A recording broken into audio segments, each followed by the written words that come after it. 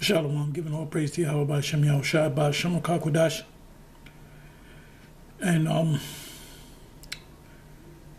I guess I'll entitle this Planet Lockdown.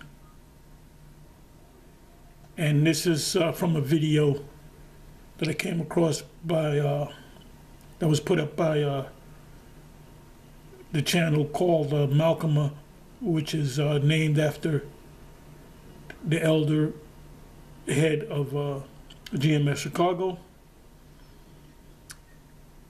And if you go on, on his page, I'm obviously on the page that he spoke about. The woman that you see there, her name is uh, Catherine Austin Fitts. That's Catherine with a C, C A T H E R I N E, Austin, A U S T I N, Fitts. F I T T S. And uh, this is uh, part three of Planet Lockdown interview. now I had saw this. I, I, saw this video. It maybe could have been another interview, but uh, when he mentioned the name of the woman,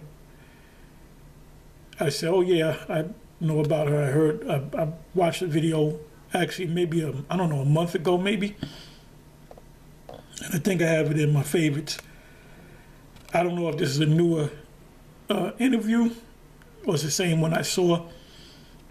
But anyway, he mentions, the elder Mal- Malcolm mentions that uh, she goes into the uh, whole lockdown and the uh, the uh, the thing, you know, the jab, and she equates it to the mark of the beast.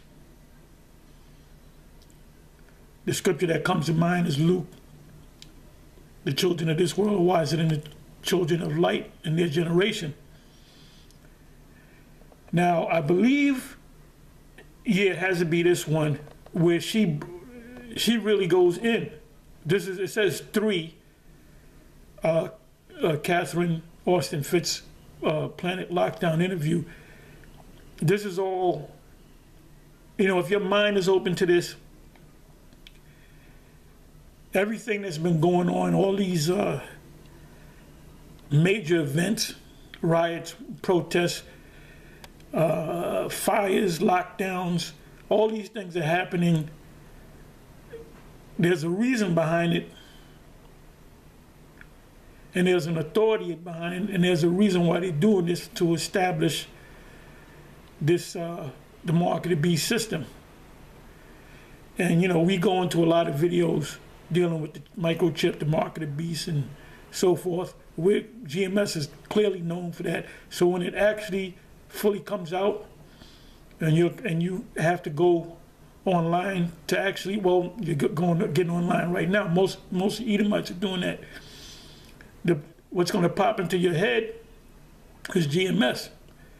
You know, we're the premier uh, group of Israelites that's going into the mark of the beast.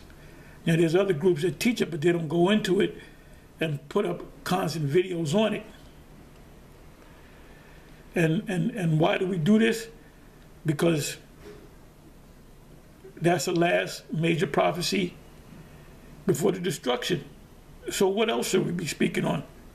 You know, we speak on a lot, of, we're going into a lot of subjects, but the main subject is this subject right here.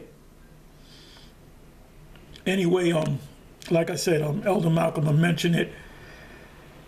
As soon as he mentioned her name, I knew who he was talking about, and I, I said, uh, let me go, you know, find his videos. But this right here, three, she goes in, man. She goes in.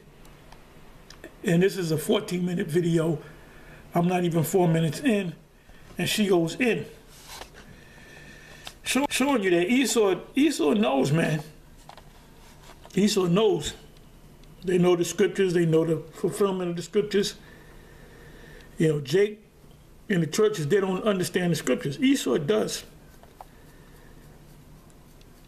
Does he accept it? No, because he knows he's an Edomite, but he's not going to accept that.